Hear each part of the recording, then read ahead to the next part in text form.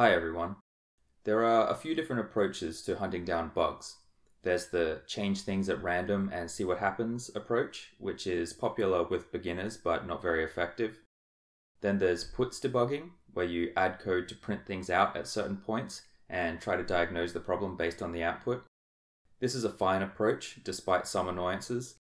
For example, when you don't know what the problem is yet, it can be hard to guess what you need to print out. Sometimes you have to dig through lots of unrelated output to find the exact thing that you're looking for. It often involves editing lots of different files, maybe even files inside of third party gems. And at the end, once you've solved the issue, you have to go back and remove all that printing code that you added. There's also raise debugging, which is the same as puts debugging, except that you raise exceptions with messages instead of printing output. In this screencast, I want to show you a different, more sophisticated way to debug Ruby code using Byebug. Byebug is a debugger for Ruby 2. Debuggers allow you to pause execution at any given line of code, inspect the state of your running app, and run code one line at a time. You can step through the code as it runs, observing everything that happens. I found that debuggers are good for diagnosing nasty, complicated bugs and bugs in code bases that you're not familiar with.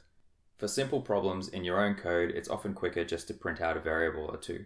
But when the problem's deep within a third party gem, or maybe within code that you're not used to and you don't know how it works, a debugger can save you a lot of time and effort.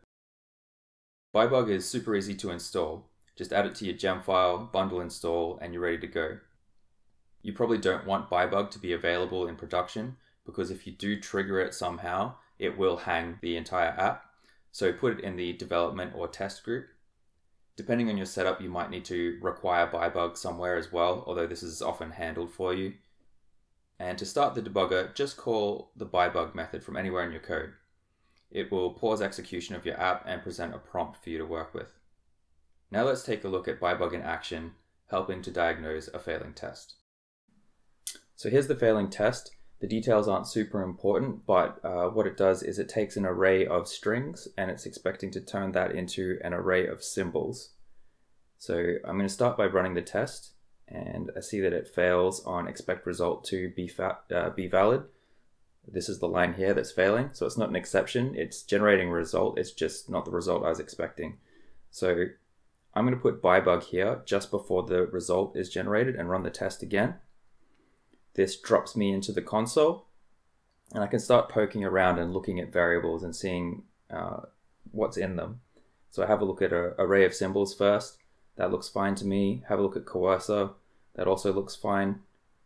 Um, now I want to see the actual result. So I'm going to have to run this line of code that it stopped on by typing in next. Okay, so result should exist now. Check that it is in fact invalid and that's true. Um, have a look at the error. That's a bit complicated, so I want to narrow it down a bit. And here I see the error is something to do with a symbol coercer. Uh, symbolic name is coercion failure, and the value is a string A. So that's kind of what I'm looking for at the moment.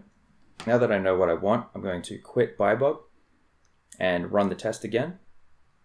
And I'm back where I started, but now I'm going to step into the coercer call instead of stepping over it. So I'm going to see what happens inside coercer.call. Okay, so I'm looking for the cause of the error, just stepping over the code.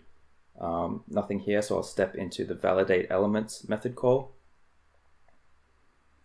Um, nothing immediately obvious here, so I'm stepping through, still stepping through. I'm going to step into the element schema dot call. And here I see that symbolic name coercion failure. So this looks like the error that I saw and this is triggered by a coercion failed exception being raised. So I want to step into this line of code and see what's raising that exception. Okay, so now I'm in symbol coercer, which I saw earlier. Value is A, the argument. Um, this looks exactly like the, the problem here, and you can see a line of code commented out for some strange reason. And instead of converting the string into a symbol, it's jumping straight to invalid here. So if I have a look in invalid, invalid is raising coercion failed, which is triggering the error. So now that I know what the problem is, I can quit out of Byebug, go back to the code, open up the file, and just uncomment that line, and that should uh, convert the the strings into symbols and make the test pass. So I go back to the test, delete byebug, run it again, and now you can see that the test passes. So next time you're hunting down an elusive bug, give byebug a try. This was a Ruby Pigeon screencast by Tom Dalling. Check out rubypigeon.com for more Ruby goodness.